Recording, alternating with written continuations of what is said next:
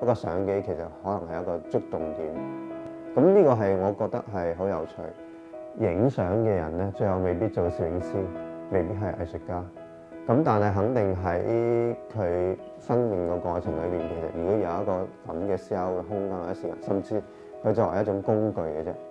咁其實都係一個好處嚟嘅。攝影最基本嘅功能就係對現實世界嘅一種好象真嘅描述。再諗深一層，其實咁你可唔可以其實由描述以外，我可唔可以同佢有關係咧？而嗰種關係其實係一樣咩關係？我要同你分享嘅時候，可以點分享？我係劉清平啦，對空氣嗰個題目啦，其實點解我自己有興趣就係薄如空氣。你覺得嗰樣嘢係存在嘅，但係其實你好似見唔到。咁好多時其實我哋見到或者我哋日常生活好多嘢咧，諗清楚影響得好緊要嘅，其實唔係一定我哋真係見到。其實我真係影空氣影咗好耐，咁但係我出發點其實我啲嘢點嚟嘅咧，就係話其實我啲嘢全部都係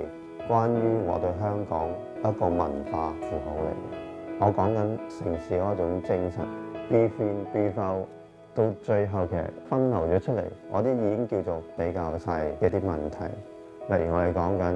言論嘅自由啦、污染啦，咁呢啲嘢其實係香港嘅將來嚟嘅。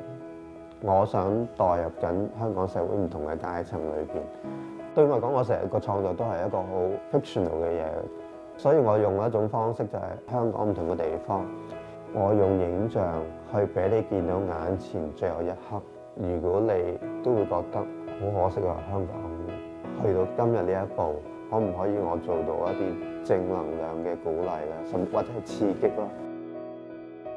我想咧係一路都係好想，最後出嚟嗰個呈現咧係好大張，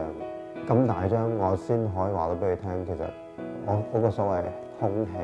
或者所謂一種精神咧，其實我哋眼睛喺度上面流動，嗰種 detail 咧，每一個觀眾揾緊喺個作品面前，其實揾緊自己一種構圖嘅。我唔係想框住你睇一樣咁嘅嘢。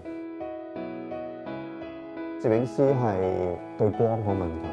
見到一個唔開心嘅天空咧，同佢見到一個唔開心嘅香港咧，咁其實都係一樣嘅。相個門檻好低，你唔識寫嘅時候，你識影相，其實你已經可以表達你自己嗰種渴求咯，